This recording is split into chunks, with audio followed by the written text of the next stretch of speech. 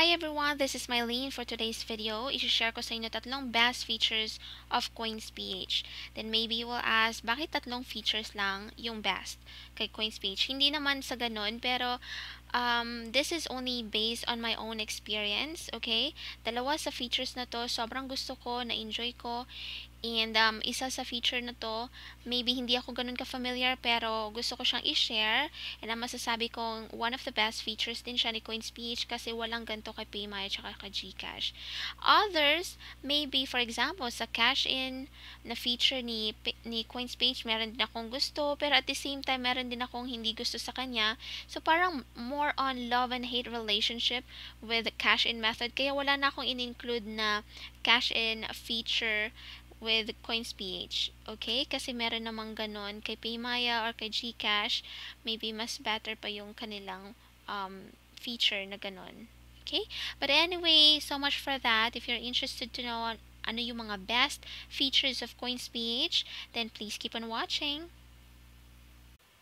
Of course, number one kung gustong feature ni CoinsPH is yung buy load feature nila. Kung gumagamit ka ng CoinsPH para mag-load not just for yourself but for other people. Like, ginagamit mo siya pang e-loading service. Like, naglo-load ka talaga para maka-earn ng extra income or extra money, then malalaman mo kung bakit gustong-gusto ko itong CoinsPH na buy load feature niya.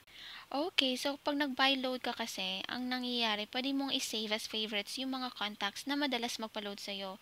So that next time, pag nagpa-load sila ulit, hindi mo na kailangan i-enter na lang nang i-enter all the time, every time na magpa-load sila sa number nila sa'yo, ba diba? Pag nakasave na siya, edi i-click mo lang ng ganyan, and then, ilalagay mo ditong amount or either choose from the below. Merong 50, 150, kung wala naman, let's say, for example, 10 pesos lang gusto mo i-load, then pwede mo siyang isulat dito.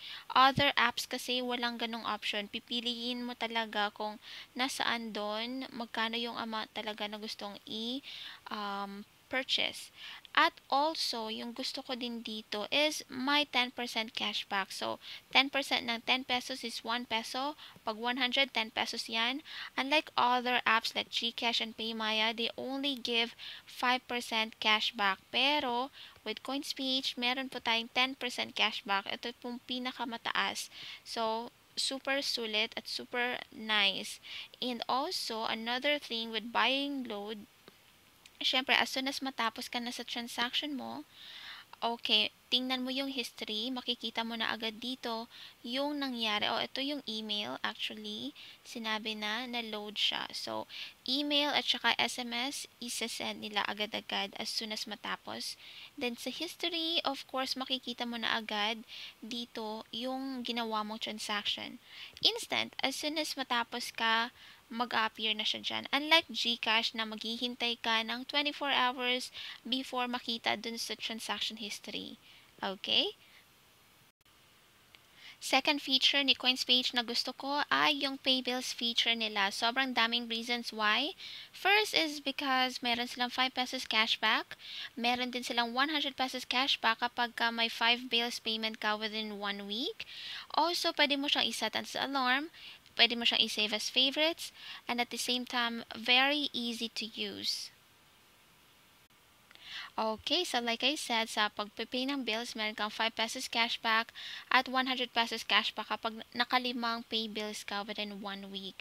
Tapos, pwede mong i-save as favorites yung mga uh, monthly, siguro mga monthly bills mo, pwede mo siya i-save as favorites. At ang kagandahan, kapag na-save mo siya as favorites, for example, itong PLDT, since monthly siya, ang ilalagay mo na lang kasi na-save mo na siya as favorites is yung amount na gusto mong ibayad kasi syempre every month pwedeng magkaiba yan, ba diba? So, in-next mo yan. And then, kasi na-save mo na siya as favorites, yung phone number at saka yung account number andito na. You don't need to enter your account number or your phone number all the time every time na magbayad ka kasi na-save mo na siya as favorites. So, all you have to do, enter the amount and slide to pay. So, yun lang. Ganun lang kasimple. Also, pwede mo siyang i-set as alarm, lalo na sa mga monthly payments. For example, nagsasahod kayo ng 15 at 30th. So, maybe if it's monthly payment, then pwede mo siyang i-set ng alarm every 16th of the month. Pwede mo siya doon at saka may time, may date, and every month, nag-a-alarm po sila, nagre-remind sila, oh, okay, bayaran mo na to kasi, ayun, time mo na to pay. Sobrang ganda. Also, let me just um, tell you na sobrang dali lang din mahanap. For example, okay, gusto ko mag-buy ng PLDT. Siyempre, alam mo na, telecom yun. Hindi ka titingin dito sa water utilities or sa electric utilities. Tingnan mo dito sa telecom So, parang meron siyang description para alam mo where to go, where to find it. So, sobrang dali niya. At saka, mabilis na siyang hanapin kasi nakikita mo na agad yung logo. Hindi siya yung tipong most popular tapos i-open mo siya, dun mo pa makikita yung mga logo. Dito, diretso na siya, makikita mo na agad aside from the description, meron na agad yung mga logos niya. Tapos, i-scroll-scroll mo na lang, hanapin mo na siya. Sobrang dali na, hindi mo na kailangan i-open and so on kasi bukas na siya to, to begin with. Okay? And then, third feature na gusto ko kay CoinSpeech is yung BTC, XRP, BCH, at ETH feature niya. Hindi ko actually sila nagagamit pero na-include ko siya dito sa best uh, features ni CoinSpeech kasi wala siyang, walang ganito si Paymaya and Gcash. So, I think it's very unique with CoinSpeech na meron silang ganitong feature. Okay, so kagaya dito, meron tayong PHP wallet, 'di ba? Meron tayong BTC wallet, meron tayong XRP wallet, BCH wallet, tsaka ATH wallet. Personally, hindi ko sila nagagamit. Hindi ko pa alam kung paano sila gamitin. Pero, in-include ko pa rin sila sa favorites kasi very unique nga siya. Wala siya sa PayMaya tsaka kay Gcash. And also, meron ako na-watch na videos about free Bitcoin, free ETH, and so on. Ang daming pwedeng ways to earn these uh, money. So, parang cool siya and at the same time I also want to try this. Maybe in the future to try ko yung mga videos na pinopost ng other YouTubers about earning BTC coins or ETA ETH hindi ko sila exactly alam pero I think this is such a cool feature I must say. So pwede mo i-convert yung um, for example PHP amount mo to BTC, pwede mo siyang i-convert to BCH, XRP, or ETH.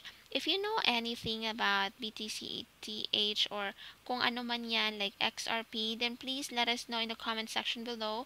Of course, gusto nating mag-share na information at the same time makapag-share din sa ibang tao, 'di ba? But anyway, I think this is just a cool feature. Pretty sure I will try this in the near future and I will share it with you definitely, guys. And finally, guys, kung may feature dito na hindi ko na-include, it doesn't mean hindi sila maganda, hindi sila magaling. It's just that, um, ito lang yung top 3 best features ko ni CoinsPH. Okay? And anyway, I hope you find this video helpful. By the way, malapit na tayo mag 500 subscribers. If hindi ka pa nakapag-subscribe, please subscribe now kasi as soon as we reach 500 subscribers, I will have a giveaway. Alright, thank you so much for watching guys. I hope to see you next time. Bye!